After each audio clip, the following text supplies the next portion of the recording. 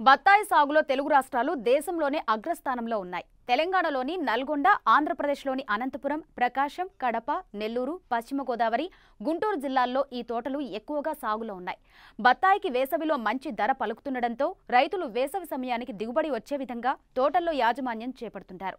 ముఖ్యంగా బత్తాయి తోటలకు ఏడాదికి రెండుసార్లు ఎరువులను అందించాల్సి ఉంటుంది. ప్రస్తుతం ఈ తొలకరిలో తోటల్లో ఆచరించాల్సిన ఎరువుల యాజమాన్యం గురించి ఇప్పుడు తెలుసుకుందాం. ఆంధ్రప్రదేశ్ తెలంగాణలో రైతులు బత్తాయి తోటలను అధిక విస్తీర్ణంలో సాగు చేస్తున్నారు. మొక్కల మధ్య ఎటు చూసినా పద్దెనిమిది నుండి ఇరవై ఒక్క అడుగుల దూరంతో ఎకరాకు వంద నుండి నూట ముప్పై ఐదు మొక్కలు వచ్చే విధంగా ఈ తోటలను పెంచుతున్నారు. అయితే ఎకరాకు వంద మొక్కలు నాటిన తోటల్లో గాలి వెలుతురు ధారాళంగా ఉండి చీడపీడల సమస్య తక్కువ ఉంటుంది. సాధారణంగా రైతులు ఆయా ప్రాంతాల వాతావరణ అనుకూలతను బట్టి పండ్ల దిగుబడి తీస్తున్నారు. దీనిలో వేసవిలో వచ్చే పంటను చిత్తా అని శీతాకాలపు పంటను ఆరుద్ర అని వర్షాకాలపు పంటను సీజన్ పంట అని పిలుస్తారు. అయితే నూటికి ఎనభై శాతం మంది రైతులు వేసవి పంట తీసుకునేందుకు మొగ్గు చూపుతారు. ఎందుకంటే ఈ కాలంలో గత రెండేళ్ళుగా టన్ను బత్తాయి నలభై వేల నుండి యాభై వేల ధర పలుకుతోంది. ఆరు సంవత్సరాలు దాటిన తోటల నుంచి ఎకరాకు ఎనిమిది నుండి పది టన్నుల దిగుబడిని సాధించే వీలుంది. ప్రస్తుతం కొంతమంది రైతులు వర్షాకాలపు పంటను తీసుకుంటూ ఉండగా మరికొంతమంది రైతులు వేసవి పంట కోసం తిరిగి తోటలను సిద్ధం చేస్తున్నారు. బత్తాయిలో పూత నుంచి కాయ పక్వానికి రావడానికి దాదాపు ఏడు నుండి ఎనిమిది నెలల సమయం పడుతుంది. అయితే ఆశించిన దిగుబడులను పొందాలంటే ఈ తోటలకు పోషకాలను సకాలంలో అందించాలి. ప్రధాన పోషకాలైన నత్రజని భాస్వరం పొటాష్లను సకాలంలో అందించినప్పుడు చెట్లు ఆరోగ్యంగా పెరిగి మంచి ఫలసాయాన్నిస్తాయి. బత్తాయి మొక్కలకు ఏడాదిలో రెండు దఫాలుగా ఎరువులను అందించాలి. మొదటి దఫా ఎరువులు డిసెంబర్ జనవరి నెలలో అందించాల్సి ఉంటుంది. ప్రస్తుతం వర్షాలు పడే సమయం. ఈ సమయంలో రెండో దఫా ఎరువులను జూన్ జులై మాసాల్లో వేసుకోవచ్చు. భాస్వరపు ఎరువును సింగిల్ సూపర్ ఫాస్ఫేట్ రూపంలోనూ పొటాష్ను మ్యూరేట్ ఆఫ్ పొటాష్ రూపంలోనూ రెండు దఫాలుగా సమపాళ్ళలో వేయాలి.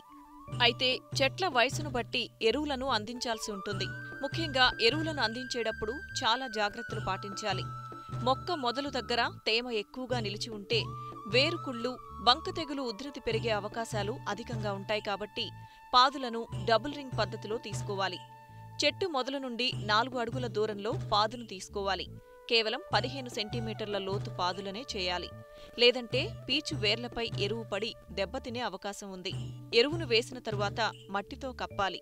ఒక్కో చెట్టుకు వంద కిలోల పశువుల ఎరువు పది కిలోల వేపపిండి లేదా ఆముదం పిండి లేదా గానుగ పిండిని వేయాలి.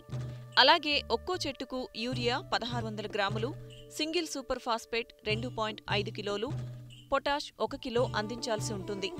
అదే చిన్న మొక్కలైతే ప్రతి మూడు నెలలకు ఒకసారి తక్కువ మోతాదులో అందించాలి. అలాగే బత్తాయి తోటల్లో ఎక్కువగా సూక్ష్మధాతు లోపాలు కనిపిస్తుంటాయి. చెట్లలో ఒకేసారి రెండు మూడు సూక్ష్మ పోషకాలు లోపిస్తే చెట్లు క్షీణించే ప్రమాదం ఉంది. ఇటువంటి సందర్భాల్లో రైతులు జింక్ సల్ఫేట్ రెండు గ్రాములు మాంగనీస్ సల్ఫేట్ రెండు గ్రాములు మెగ్నీషియం సల్ఫేట్ రెండు గ్రాములు ఫెరస్ సల్ఫేట్ ఒకటి పాయింట్ ఐదు గ్రాములు బొరాక్స్ ఒకటి పాయింట్ ఐదు గ్రాములు కొంచెం జిగురు లీటరు నీటికి చొప్పున కలిపి చెట్టు మొత్తం తడిచేలా పదిహేను రోజుల వ్యవధిలో రెండుసార్లు పిచికారీ చేయాలి.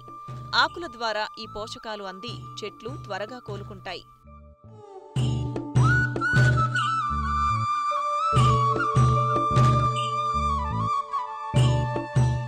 ప్రాంతాన్ని బట్టి చెట్లను పూతకు వదిలే సమయం మారుతుంది.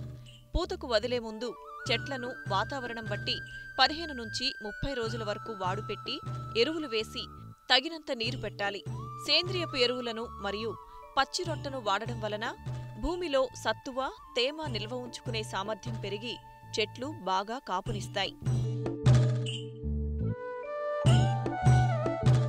వ్యవసాయంలో సమస్యలకు సందేహాలకు సమాధానాల కోసం మట్టి మనిషి రైతుకు అండగా నిలుస్తోంది.